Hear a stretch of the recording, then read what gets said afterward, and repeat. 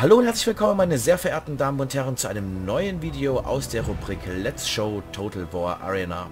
Und wie ich es euch in der letzten Folge schon angekündigt habe, diesmal habe ich es geschafft, Miltiades freizuschalten und ich kann euch ihn präsentieren und natürlich eine der bestimmenden ähm, Truppengattungen und Arten der Kriegsführung für die klassische Antike, nämlich die Phalanx. Die wollen wir uns heute anschauen. Wie immer würde ich das Video so aufteilen, dass ich euch natürlich ein paar historische Informationen gebe. Einmal zu Miltiades als Persönlichkeit, dann natürlich zu der Sache, für die er so berühmt geworden ist, nämlich die Schlacht bei Marathon, wo er die Perser um Dareios den Ersten geschlagen hat. Und natürlich danach ein paar Informationen zur Phalanx, zur Funktionsweise und generell, warum das so effektiv gewesen ist und vor allen Dingen auch so lange effektiv gewesen ist. Und danach wollen wir uns auf jeden Fall, wenn die Zeit wird reichen, ähm, ein, zwei Spiele angucken und die natürlich, also die Phalanx natürlich auch in echt mal ausprobieren. Okay, beginnen wir mit Miltiades. Gelebt hat er circa von 550 vor Christus bis 489 vor Christus und ist sozusagen ein Mann, der in der Politik Athens sehr erfahren gewesen ist. Deswegen passt auch hier auf jeden Fall der Hintergrund des Segels, die athenische Eule, die ihr dort seht. Wir sind jetzt also hier mal in relativ sicheren historischen Bahnen. Miltiades selbst war vor seinem Amt als Strategos bei der Schlacht von Marathon, wo er die ähm, Truppen ähm, Athens angeführt hat, war er selbst Archon in Athen. Die Archonten sind sehr hohe Beamte gewesen, die teilweise sogar eine Regierungsgewalt ausüben konnten. Das heißt also mit Miltiades haben wir hier einen Charakter, der absolut Politik erfahren ist und der auch weiß, ähm, wie diese Machtspiele und so weiter funktionieren. Allerdings sollte es ihn dann später auch nicht davon ähm, davor retten, ein Opfer eben solcher Machtspiele zu werden. Er wurde dann später, als die Perser ganz äh, massiv in den Bereich der Ägäis drückten, ähm, später Strategos und führte wie gesagt die Truppen beim Marathon an. Und auch nach seinem Sieg blieb er diesem Amt noch treu. Ähm, er leitete dann später äh, mehrere Unternehmen gegen die Kykladeninseln. Das waren Inseln, die sozusagen aus dem persischen Einfluss befreit werden sollten. Das so war die Idee, war eben dadurch möglich, weil man die Perser eben doch gut geschwächt hatte. Und ähm, so unterstellte man Miltiades die große athenische Flotte von ca. 70 Schiffen. Es wird davon ausgegangen, dass das die größte Flotte äh, Athens gewesen ist, bevor es zur Restrukturierung unter Themistokles gekommen ist. Also Themistokles, äh, der Name, der sehr stark mit der Seeschlacht bei Salamis verbunden ist und der eben auch ganz aktiv das Flottenbauprogramm in Athen noch vorangetrieben hat. Ja, ähm, man gab ihm diese Flotte und die Belagerung der Kykladeninseln ging am Anfang ganz gut und konnte, er konnte allerdings seine Ziele nicht verwirklichen, ähm, musste umkehren nach Athen, wo man ihm den Prozess machte wegen Verrat, eben weil er sozusagen umgedreht war, anstatt äh, die Belagerung zu Ende zu führen. Man warf ihm hier vor, dass er sich in den Dienst der ähm, Perser gestellt hätte und ja, es war später allerdings auch so, dass er sich, ähm, also dass er angeklagt worden ist, ins Gefängnis kam, eigentlich auch schon freigesprochen äh, werden konnte. Er sich allerdings bei den Schlachten bzw. bei den Belagerungen eine ziemliche Verwundung zugefügt hat und er sozusagen im Gefängnis an diesen Verwundungen verstorben ist. Das ist also ein relativ trauriges Ende, eigentlich könnte man sagen, für diesen Mann, der bei der Schlacht vom Marathon eben so viel Ruhm geerntet hat. Man darf auch nicht vergessen, natürlich ist es natürlich immer, dass äh, Befehlshaber, die mit Pech im, im Schlachtgeschehen in Anführungsstrichen gesegnet sind, dass man mit denen nicht so wirklich gut umgegangen ist. Also man muss sich auch hier vorstellen, Themistokles ist es dann später genauso ergangen, als er sozusagen in Ägypten die griechische Flotte sprichwörtlich in den Sand gesetzt hat. Ähm, wenn hier Schiffe verloren gehen, und ich meine, Miltiades hat jetzt nicht die gesamte Flotte verloren, aber wenn man sich das mal vorstellt, dass hier äh, 70 Schiffe unter seinem Kommando waren, man kann sich das gar nicht so richtig vorstellen, aber die Trieren zu der damaligen Zeit eine der bestimmendsten ähm, und wichtigsten Schiffe im militärischen Bereich, die hatten so circa eine Besatzung von 170 Mann plus 10 bis 20 Offiziere. Da kommt man bei 70 Schiffen auf eine Zahl von ein bisschen über, über 12.000 Mann. Und man kann sich schon vorstellen, dass also das eine gigantische, ähm, riesige Truppen Truppe ist, eine gigantisch riesige Marine darstellt. Man macht sich das gar nicht so sehr bewusst, wenn man immer nur von kleinen Schiffen spricht und in Anführungsstrichen oder von, von 70 Schiffen, oh, das klingt ja gar nicht so groß, aber wenn man sich vorstellt, wie viele Leute auf diesen Schiffen dienten, gibt, gewinnt das ganz andere Dimensionen. Und wenn eben hier, ich sag mal, nur schon die halbe Flotte versenkt wird oder wenn es, es reicht schon ein Viertel der Flotte zu versenken, damit hier wirklich eine militärische Katastrophe passieren kann und eine unglaubliche Schwächung und deswegen ähm, war man auch so erbost, als Miltiades die Belagerung der Kykladeninseln aufgegeben hat. Das muss man sich also auf jeden Fall mal überlegen. Okay, das zu den kurzen Informationen, die ich euch zu diesem Heerführer geben möchte. Wir wissen eigentlich auch gar nicht so wirklich, wie er ausgesehen hat. Das ist eigentlich auch ganz interessantes Detail. Was wir wissen, ähm, beziehungsweise es gibt einen Helm, der ihm zugeschrieben wird. Und dieser Helm ist in etwa so geschnitten wie der hier. Das heißt also, von diesem nimmt man sozusagen an, dass er ihm gehört haben soll, beziehungsweise dass er ihn getragen haben muss und deswegen wird er eben halt hier auch so martialisch dargestellt. Ich finde eigentlich die Darstellung ganz cool. Das ist für mich so, keine Ahnung, fast so ein bisschen das Idealbild eines äh, eines griechischen Soldaten, wenn wir da mal wenn wir da mal noch Leonidas daneben halten. Der wirkt schon fast ein bisschen zu modern, finde ich, wenn ich mal ehrlich bin. Miltiades. Aber ich mag halt hier vor allen Dingen diese, diese geschlossene Helmform. Das finde ich interessant. Gefällt mir gut. So. Schauen wir uns mal genau das, die Sache an, wofür er so berühmt geworden ist, nämlich die Schlacht bei Marathon, die wir, wenn wir sogar Glück haben, hier vielleicht sogar spielen können. Wir werden mal sehen, wo es uns dann in den Schlachten, äh, die ich euch hier zeigen möchte, natürlich hin verschlagen wird. Mal schauen, vielleicht haben wir ein bisschen Glück. Ja, Marathon. Wir, wie müssen wir uns so circa überhaupt die Ausgangslage vorstellen? Im damaligen Griechenland. Es gibt drei Herangehensweisen an äh, äh, diese Schlacht beim Marathon, beziehungsweise drei verschiedene Bereiche, die dort mit hineinwirken und zwar ganz massiv. Das erste ist eine geopolitische Ausgangslage.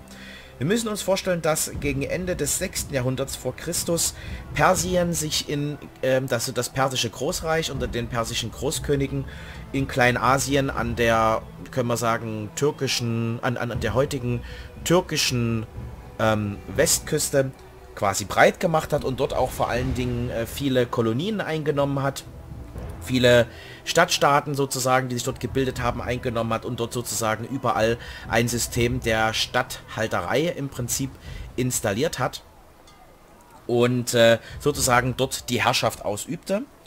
Und ähm, ja, das war allerdings nicht ganz so einfach für die Perser, denn natürlich wehrten sich die Griechen auch dagegen, beziehungsweise dort die kleinen asiatischen Städte. Und so kam es dort zu den sogenannten Ionischen Aufständen ab ca. 500 vor Christus. Und diesem Aufstand der Ionier gegen, oder diesem ionischen Aufstand der kleinasiatischen äh, Stadtstaaten gegen Persien schloss sich Athen an, Sparta aber nicht.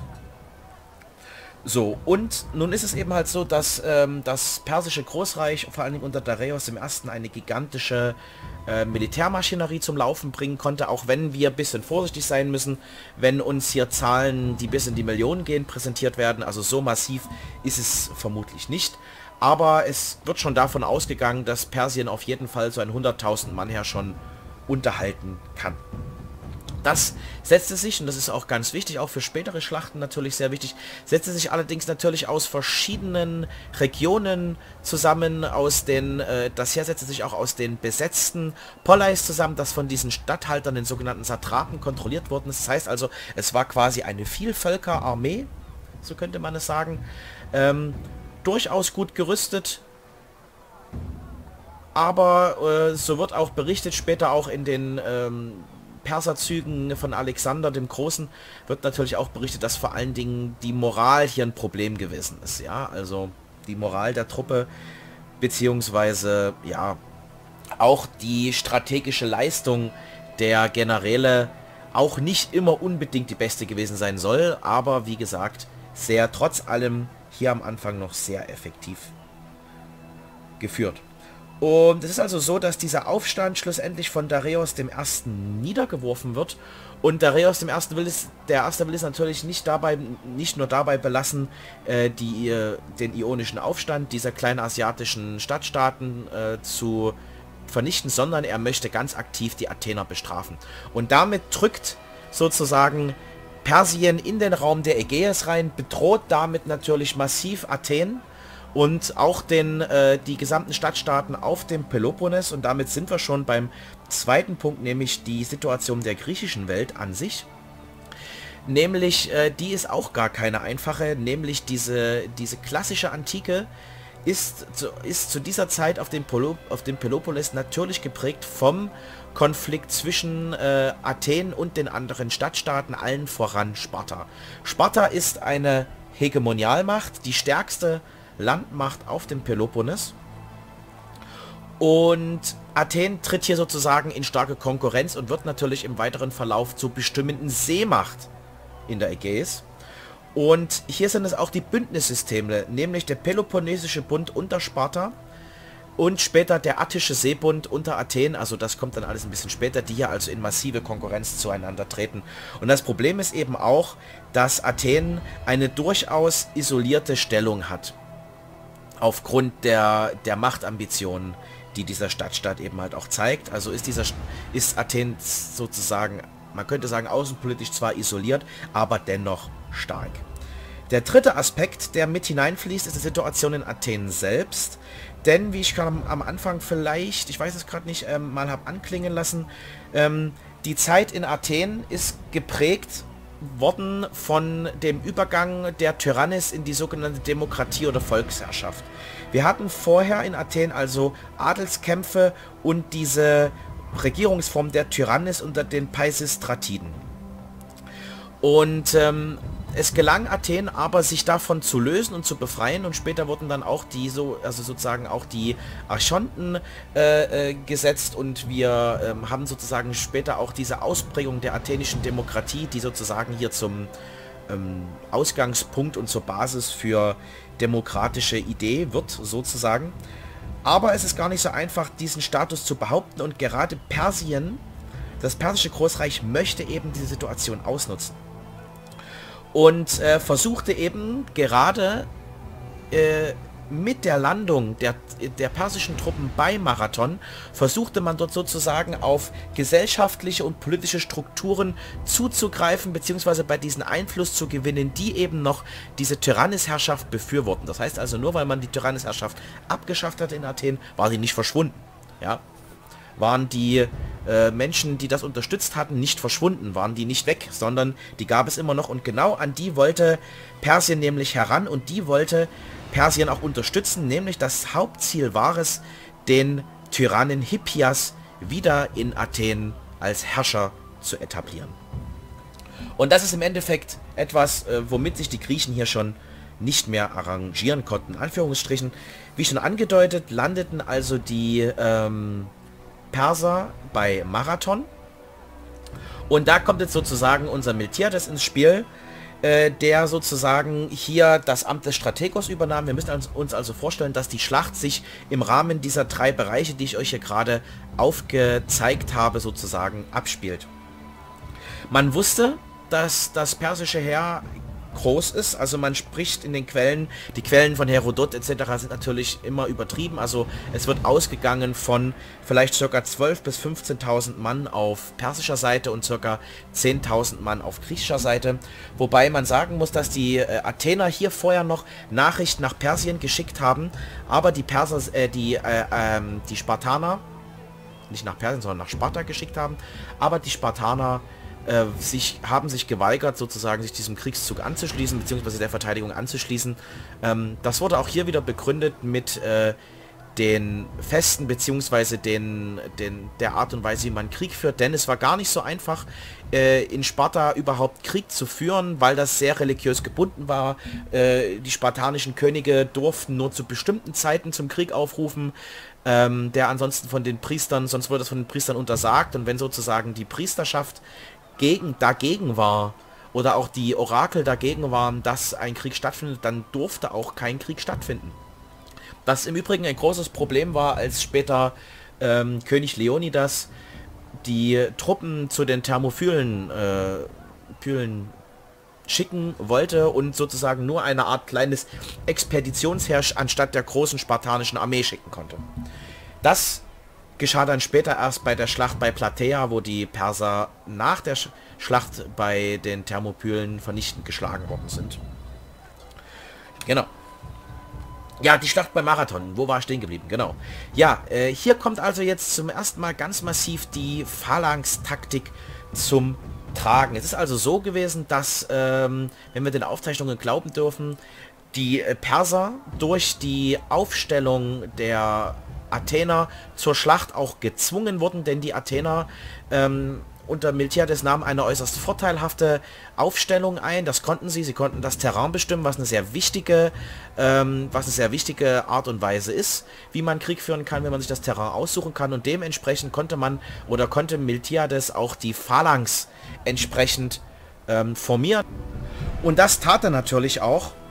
Und er konnte, er hat eben halt auch die Möglichkeit, die Flanken der Phalanx entsprechend auch abzusichern mit Unterstützungstruppen und zwang sozusagen damit eben auch die Perser zur Attacke.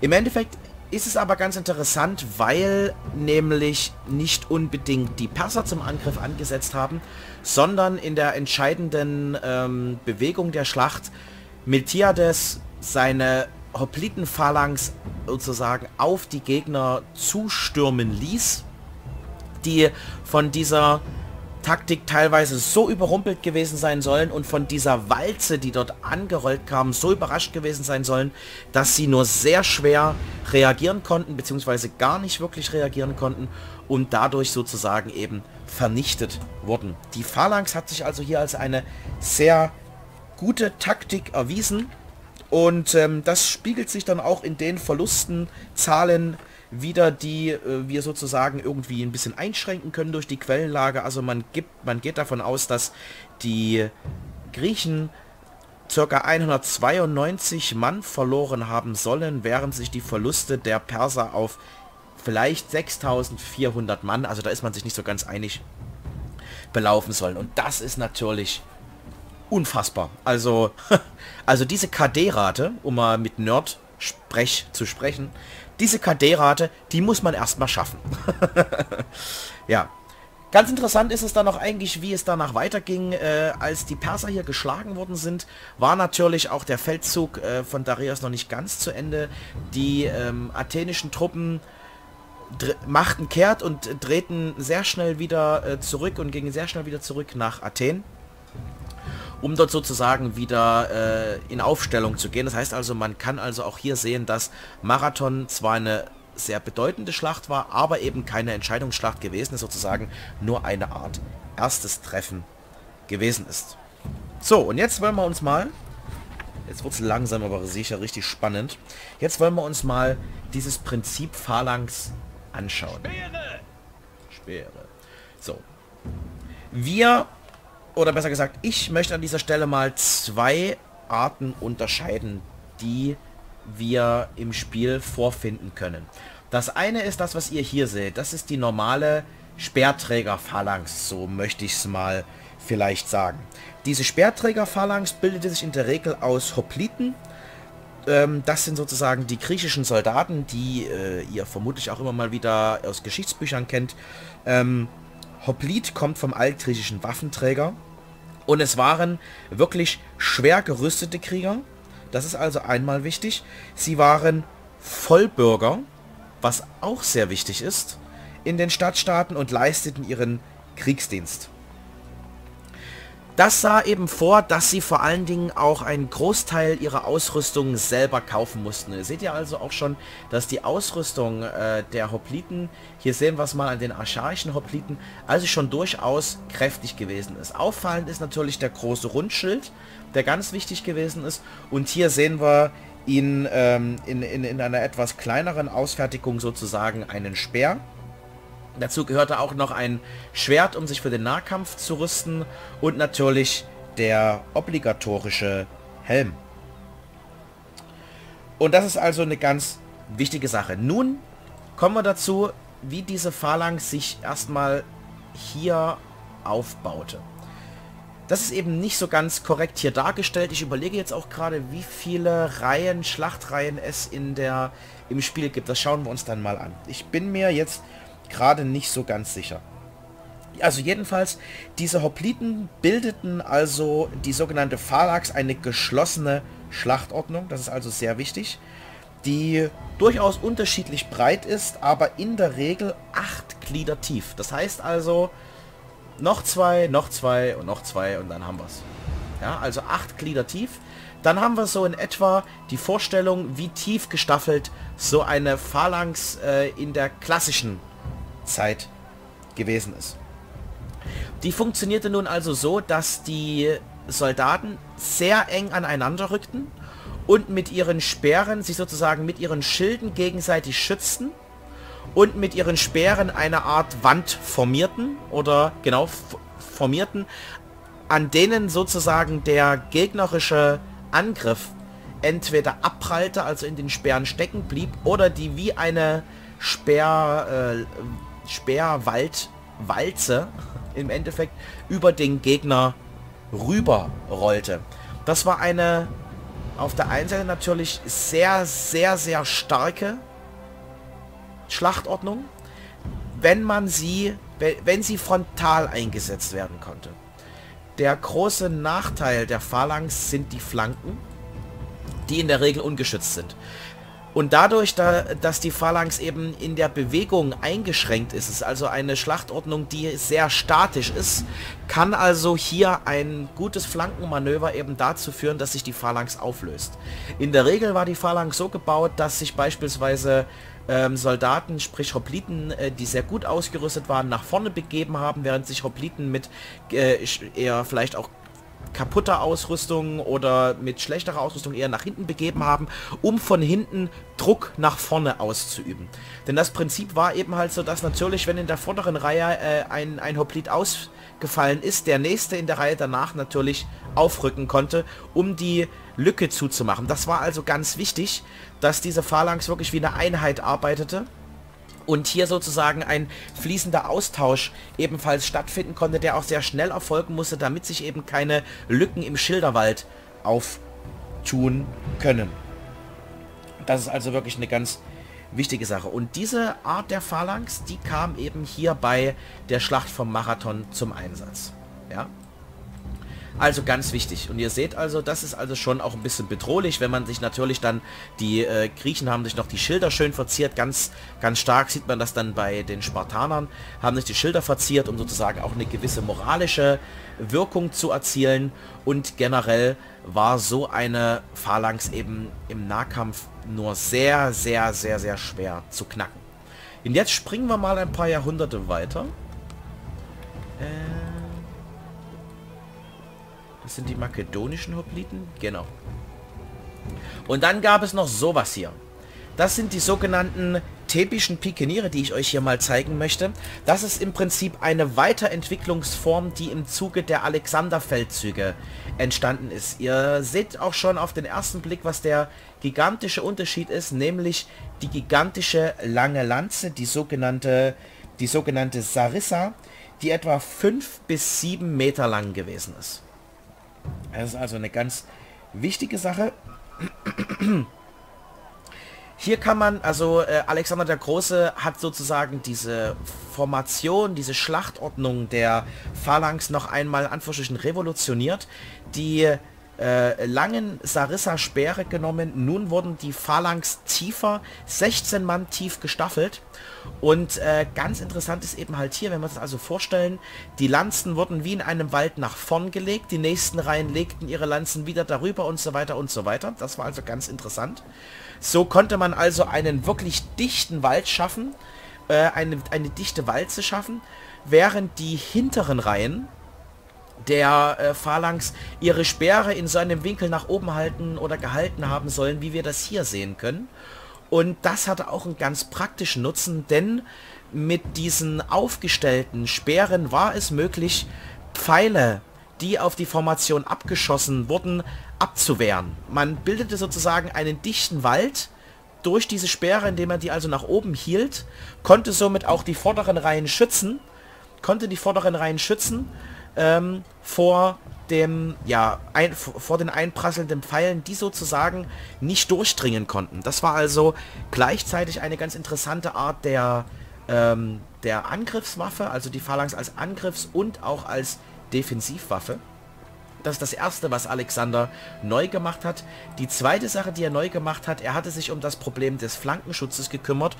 Und es ist davon auszugehen, dass äh, im hellenistischen Griechenland, also unter Alexander dem Großen, hier sozusagen eine kooperative Waffengattung entstanden ist, nämlich den Flankenschutz übernahm in der Regel dann Kavallerie.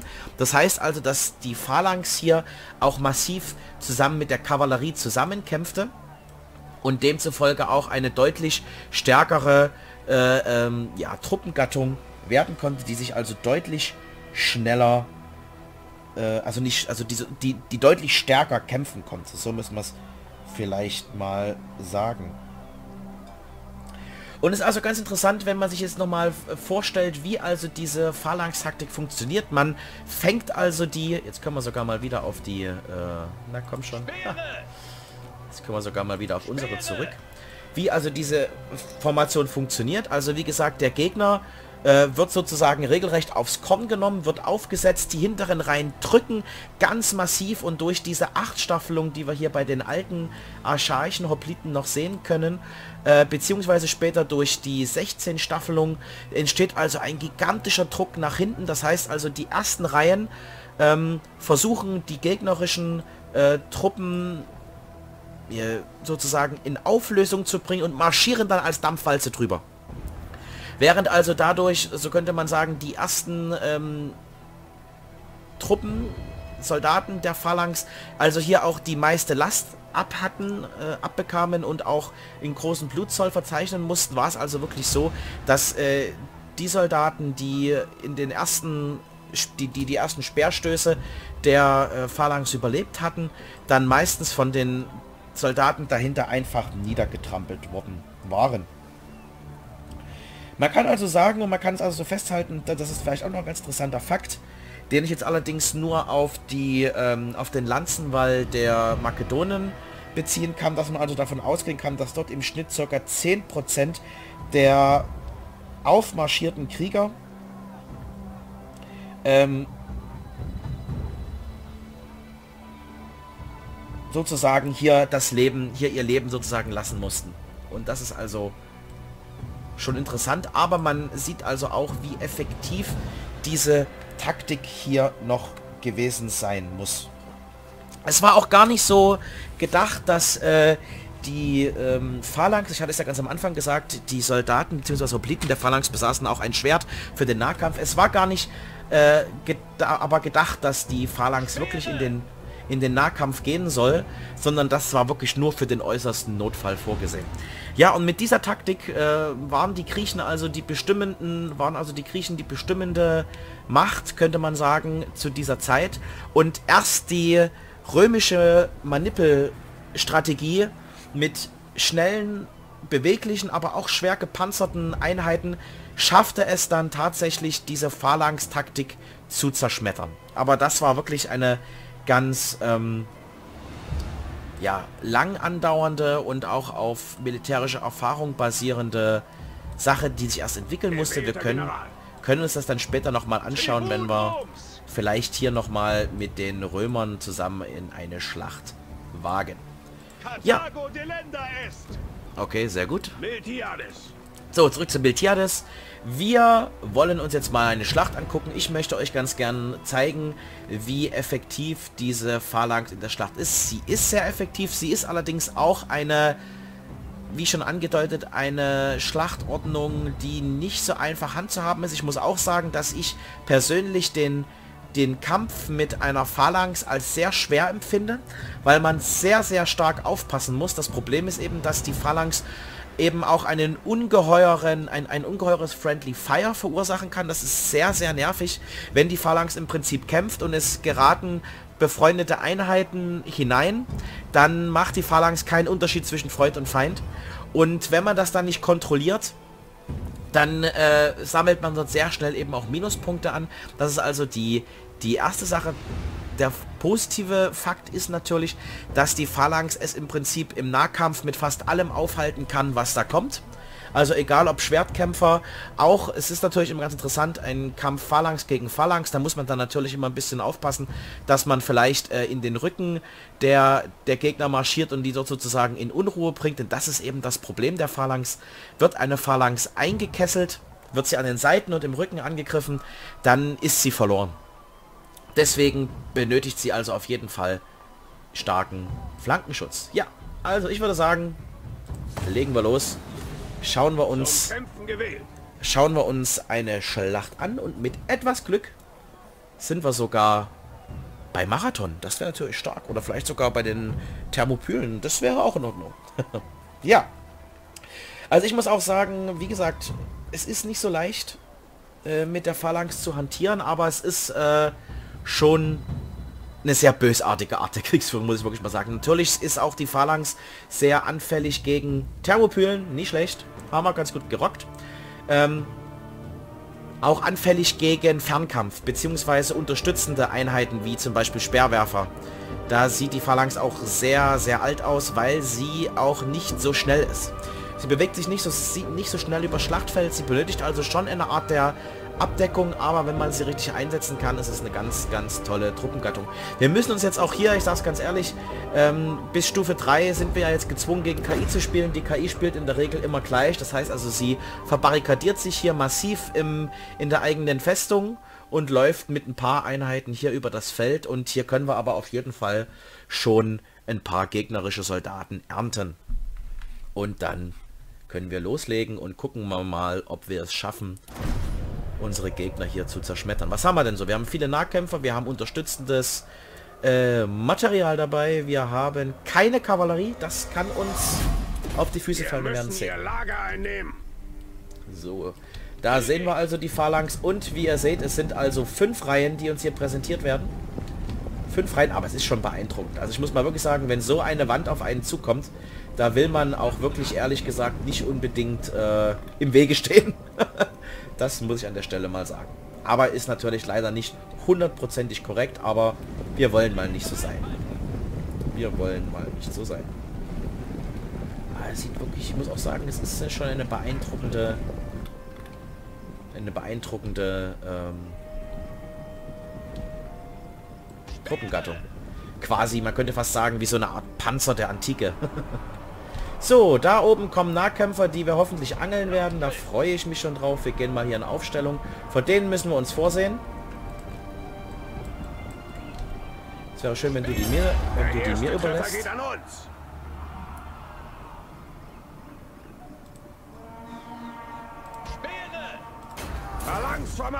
So, jetzt von mir mal die Phalanx und bums, da laufen sie rein und sind uns direkt in die Sperre gelaufen. Dichter zusammen! Da sind sie uns direkt in die Sperre gelaufen und man sieht also auch hier, wie die jetzt dastehen. Und jetzt können wir wirklich mal versuchen, hier so ein Stück nach vorne zu rücken und die Walze zum Laufen zu bringen. Was in der Regel ziemlich gut funktioniert. Jetzt kriegen wir hier massiven Eigenbeschuss ab. Das ist natürlich auch sehr schön. Oh, Mensch. Achtung, Beschuss durch Verbündete. Müssen wir hier mal ein bisschen zurückweichen. Das ist wieder mal ein Noob. Oh, das ist so ein Noob, der Typ.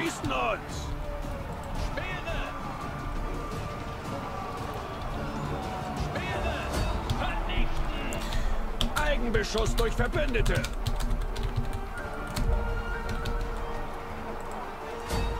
Oh, das ist ein, das ist wirklich ein Depp. Also ich muss es mal wirklich sagen. Unsere Verbündeten beschießen uns.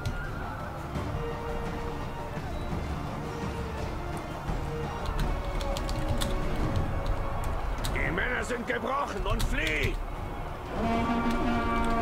Achtung! Beschuss durch Verbündete! Das ist wirklich, also da könnte ich mich wirklich, da könnte ich mich wirklich absolut aufregen. Unsere Verbündeten liegen unter Eigenbeschuss. Im Lauffeld.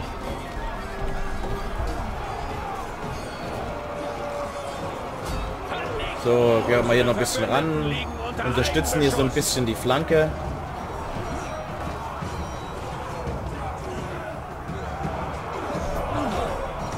Ja, aber hier sieht man schon, wie die Phalanx also wirkt. Das finde ich eigentlich ganz gut dargestellt. Da ist jemand in den Rücken gekommen. Na komm. So, jetzt lösen wir das mal auf, damit wir hier nicht so viel Friendly Fire verursachen. Weil ich ja nicht so ein Spieler bin, der viel Friendly Fire verursacht. Und jetzt schicken wir die mal einfach so in den Nahkampf. Das können wir auch mal machen.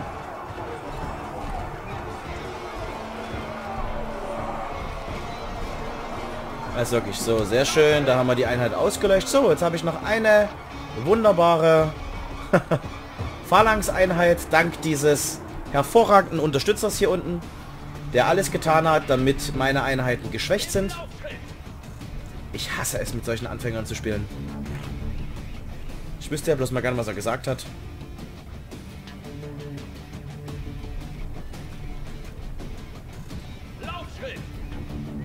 Bloß, bloß weit weg von dem, ey. Also wirklich, das ist echt sowas von ärgerlich. Das ist sowas von unnötig gewesen. Also, oh, ich könnte mich nur aufregen. So, jetzt ist natürlich die Frage, da oben haben wir sehr viel Abwehr und viele Sperrkämpfer. Vor diesen will ich mich eigentlich drücken. Das ist das Problem, wir haben keinerlei Kavallerie, ne? Also das ist echt übel. Der Gegner hat scheint auch keine Kavallerie zu haben. Das ist zwar irgendwie fair, aber es ist trotzdem blöd. So, wir versuchen das jetzt mal hier über die Ecke hier anzugehen. Ah, es ist schon okay, aber ich ärgere mich halt jetzt wirklich maßlos, muss ich sagen. Also sowas Blödes.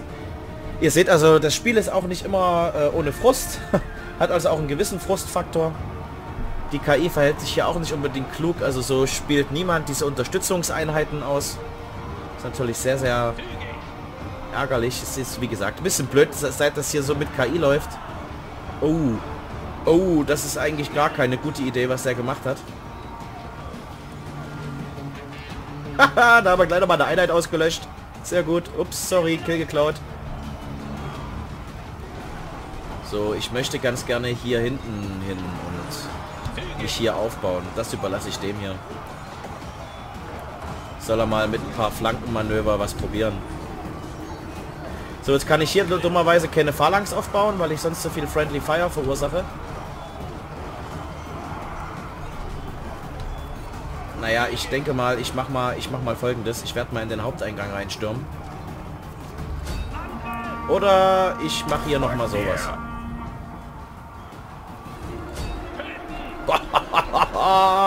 Das nenne ich umgerumst. Sehr gut.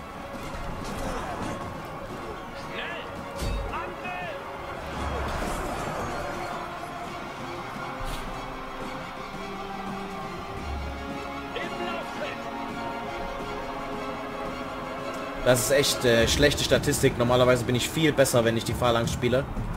Auch wenn das, wie gesagt, eine schwierige Art und Weise der Kriegsführung ist, aber das ist also wirklich... Ich hoffe, dass es dann im zweiten Spiel, dass ich im zweiten Spiel ein paar Leute... Ach, guck mal hier, was haben wir denn hier? So, jetzt kann ich wieder keine Phalanx aufbauen, weil ich sonst zu viel Friendly Fire verursache. Das ist immer ein bisschen ärgerlich. Oh, nee. Eigenbeschuss durch Verbündete. Also der ist wirklich... Der ist dem ganz egal, der schießt einfach rein.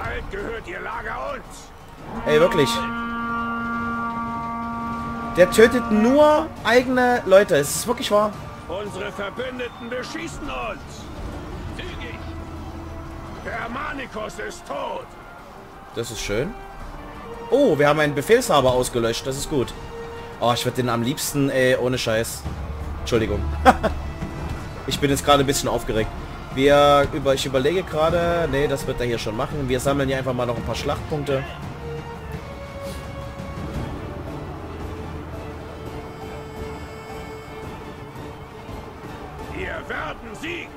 Das war's gleich.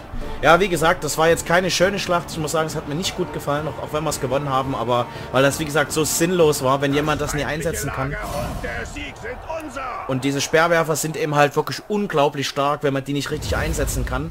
Weil man vielleicht äh, keine Ahnung hat oder es zum ersten Mal probiert. Dann, keine Ahnung. Aber man muss, ich verstehe es nicht. Also man muss doch verstehen, dass sowas eben nicht funktioniert. Naja, ich will mich nicht weiter aufregen. Oh, Stufenaufstieg. Oh, das ist gut. Naja, gut, das ist ja ganz ordentlich, was wir hier mitgenommen haben. Ah, wir ordnen uns im Mittelfeld ein, das ist okay. Können wir da vielleicht sogar... Sensationell. Naja, gut, aber über 1000 Punkte für die thebischen Obliten möchte ich ehrlich gesagt noch nicht ausgeben. Äh, wir machen noch eine Runde.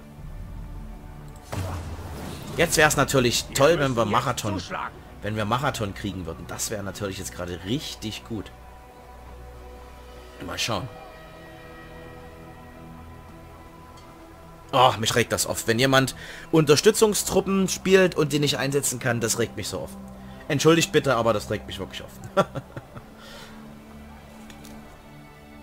Nochmal. Okay. Machen wir es eben. Nochmal.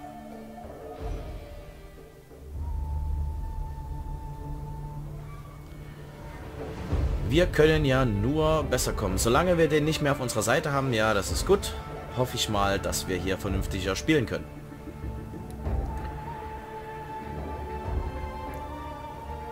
Wir spielen immer noch gegen, äh, gegen, gegen KI. Das heißt also, wir rücken wieder übers Zentrum vor, bauen uns auf und danach versuchen wir hinten den auszuhebeln. Diesmal haben wir sogar Reiterei mit dabei. Das heißt also, es wird äh, vielleicht hier sogar zu einem Reiterangriff kommen. Das wäre natürlich super, denn Reiterei hat überhaupt keine Chance.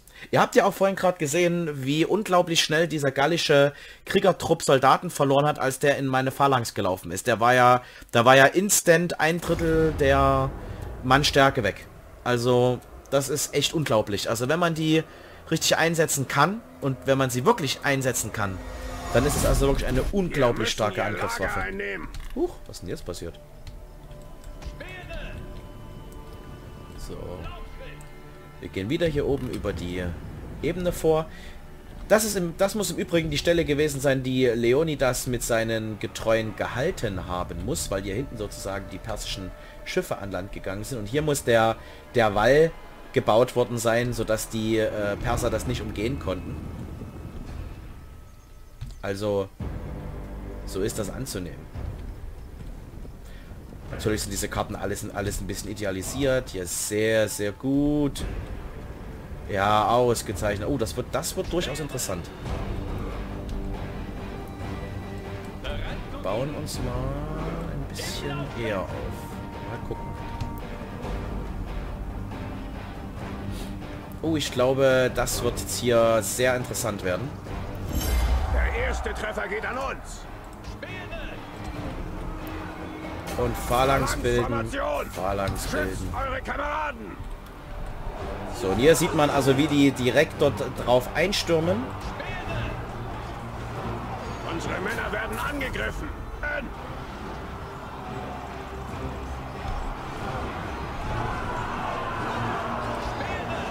Das ist jetzt vielleicht...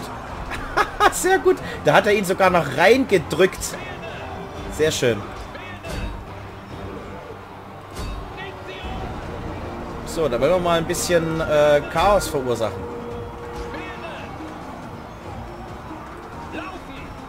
Sehr schön. Oh weia, ich muss hier mal, ich muss hier mal was machen. Sonst geht das schief.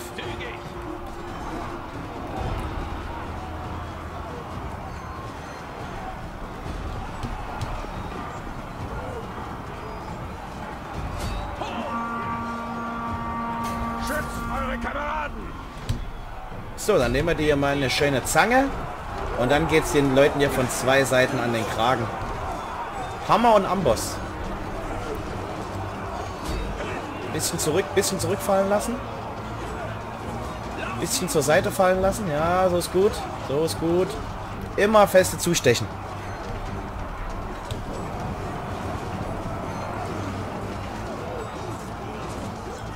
So, und jetzt wollen wir das mal hier beenden.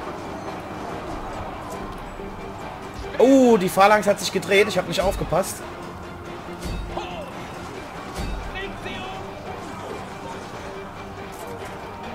Es ist aber auch nicht so schlimm. Oh, das ist so übel. Also ich möchte ehrlich gesagt, das ist sehr blöd, was der hier macht. Sehr, sehr blöd, aber ist nicht zu ändern. Oh, also hier möchte ich, hier möchte ich, nee, das möchte ich nicht. So, das drehen wir mal ein bisschen.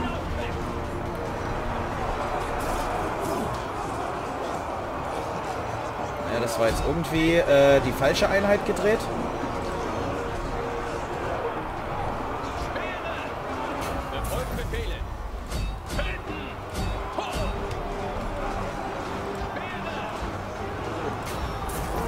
So, ich würde vorschlagen, wir lösen das jetzt hier auf und machen die jetzt hier einfach, machen die jetzt hier platt. Sehr nice, sehr, sehr nice. So gefällt mir das. So gefällt mir das. Das ist übel, das ist böse, das macht Spaß. Sehr schön. Immer fest zustechen, nicht vergessen. So, dann brechen wir mal die Moral. Das klappt dann nicht so richtig.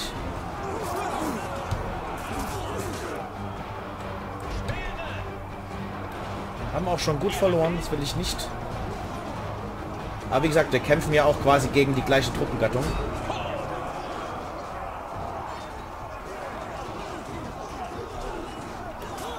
Ich traue mich halt auch jetzt keine Phalanx mehr zu machen, weil ich, äh, weil das schief gehen kann.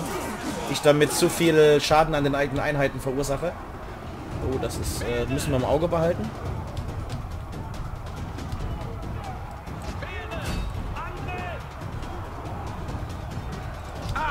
Oh nee, jetzt schießt schon wieder jemand rein.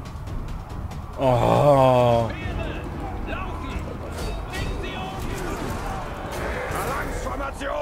Gehört ihr Lager uns!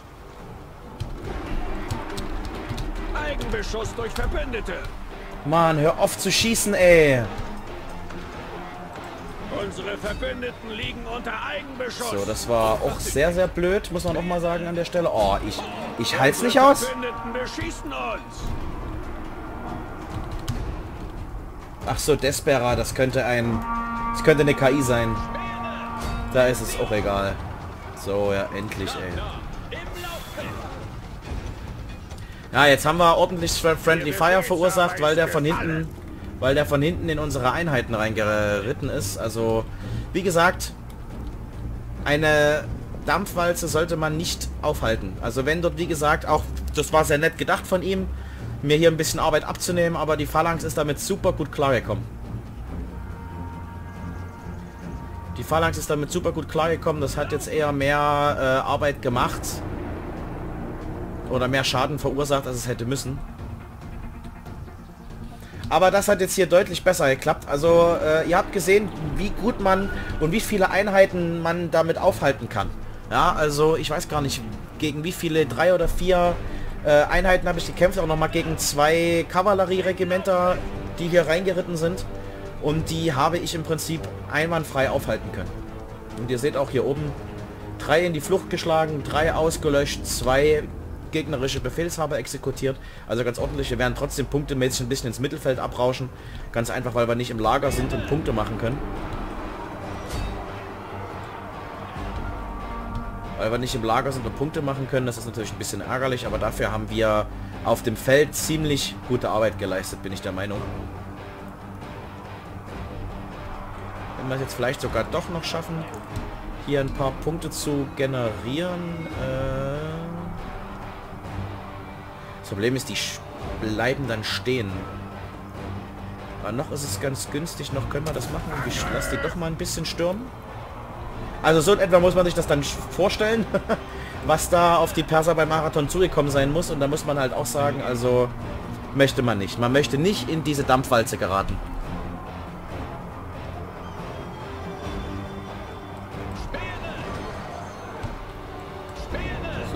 Das gut hier. Da unterstützen wir ein bisschen. Und da machen wir sogar jetzt noch ein paar Lagerpunkte gut. Das ist schön, das gefällt mir. Das ist ziemlich gut. Und ein bisschen kämpfen können wir an der Stelle auch noch.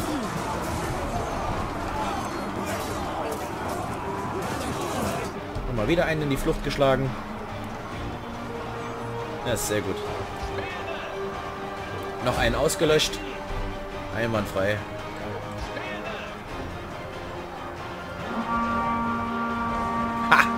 Platz 4. Na, siehst du mal. Läuft doch.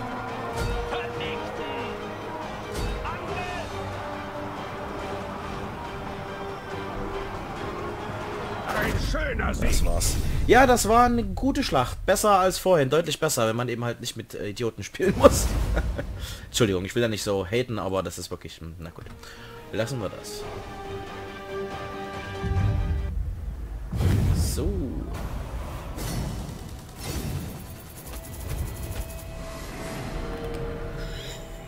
Also ich muss sagen, ja, das kann sich sehr sehen lassen. Also wie gesagt, die haben wir gut eingesetzt. Die haben wir, wie gesagt, ein bisschen Friendly Fire verursacht. Wir sind, glaube ich, der drittstärkste im Angriffsschaden.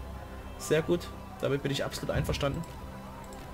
Das lief also echt ganz hübsch.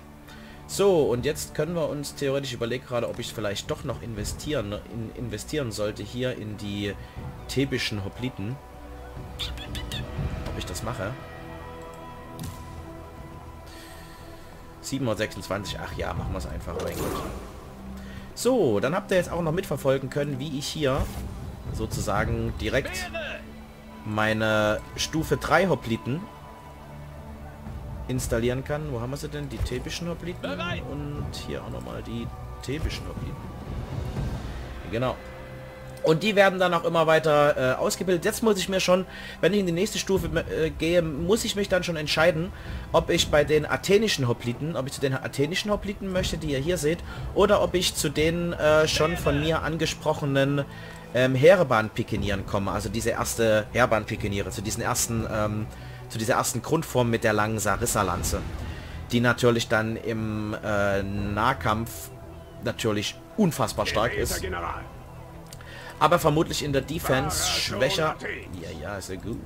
Aber natürlich in der Defense deutlich schwächer sein wird. Wir können das ja mal schauen. Was haben wir hier? Hier haben wir einen Angriff 42, 422 Defense. Genau, und hier haben wir 636 Defense und sogar einen 124er Angriffsschaden. Also müsste man ehrlich gesagt sogar... Ja, müsste man... Eigentlich ist es unlogisch, ne? Also wenn man das hier so sieht, ist das eigentlich unlogisch.